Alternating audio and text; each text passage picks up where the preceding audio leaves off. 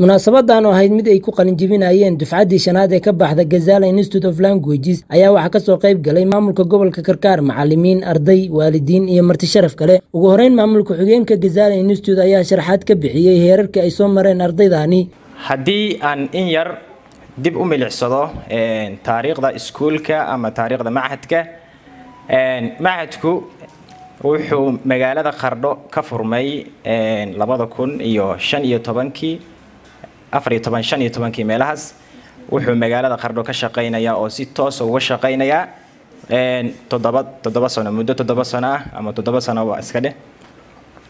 Toddobadaas sano maxadku wuxuu soo saaray afar dufcadood waxaan filaya dufcadan waxa weeyaan dufcaddii shanaad ee ka qalin jibisa maxadku wuxuu bixiyaa saddex qaybood oo waxbarasho ah.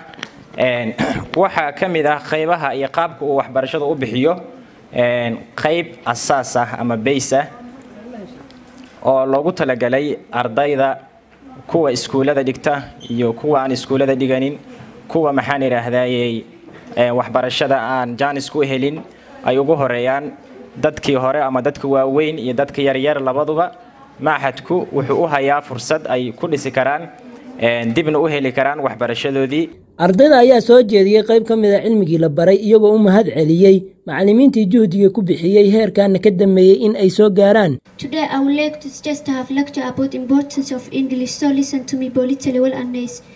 English. Is very important language because in most of the countries on the world it's spoken understood. More people are trying to learn English. Nobody can deny the importance of English in the present time. English is the language of the science and technology. There is no doubt that. In countries where many different languages are spoken to help English to help how they communicate each other. India is a good example. My name is Siham. Since we are English learners and studying here to share an English conversation, who does it seem to you if we exchange questions about learning? It seems to me nice a great idea. What kind do you have learning English? Do you think learning English is is easy or do you think learning English is difficult? Learning English depends on your effort. If you give your all attention to reading your lessons and making practice, you will able to master the language. sidoo kale waalidiinta iyo marti sharaftii ka soo qayb gashay xafladda ayaa hambalyo u diray ardayda kuna bogaadiyey inay bulshada uga faa'iideeyeen cilmiga la baray insha allah waxaa rajaynayaa cilmiga laydin baray inaad ku faa'iidaysataan macalimiintiinana aad uga mahad celisaan waalidkununa qaybu ka yahay because ilmihii haddii aan waalidku soo dirin ama waalidku soo gubaabin wax ma baranayo. Waxaa ka mid ah mar koowaad dufcaddii koowaad meeshan ka qalin jibisay. Macadkanu wuxuu yimi magaalada magaaladu aan lahayn macadyo active ah oo runtii soo saara. Productiga maanta a ujeedaan oo ah ardada yararka ah waxtar kale bulshadana wax ku soo kordhinaya. Marka hore waxaan u hambalyaynayaa ardayda waxaan leeyahay hambalyo. Ingiliishku runtii waa maado muhiima waxaan qiyaasayaa qarnigii sagaali tobanaad baa waxaa lagu daray maadada ingiliisiga. Waxyaalaha skiilka loo yaqaan ama xirfadaha loo yaqaan. Waxaan u malaynayaa dhammaanteen waxaan ka warhaynaa kooras walba oo ardaygu qaadanayo in ama ingiliish loogu dhigo ama inuu ku jiro.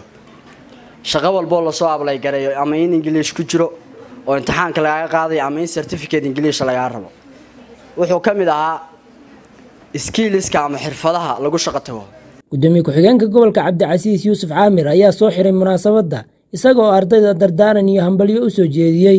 Waxaan aada iyo aada ugu faraxsanahay oo u soo dhoweynayaa ka soo qaybgalka iyo xafladda tan ardayda ku qalinjabinaysa iyo macadka kan oo languageka ah aada b baan ugu faraxsanahay inaan xafladaha caynkan oo kale ah oo ah ama cilmiga lagu baranayo mid maadi ama mid diini ahaadee inaan ardayda ku bogaadiyo oo kala qayb qaato farxaddooda iyo hambalyadooda.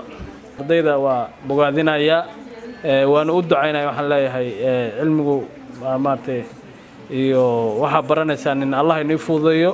Ugu dambayntii ardayda ayaa la guddoonsiiyey shahaadooyin lagu abaalmarinayo axmed deeq cabdulaahi wararka warbaahinta s b c magaalada qardho ka farxi ehelkaaga asxaabtaada iyo qaraabadaada. Oo la soo deg abka dahabshiil si aad si fudud lacag ugu dirto.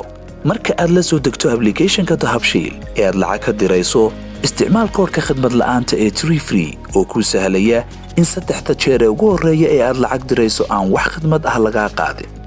Dahabshiil howlfudaydiyahaaga maaliyadeed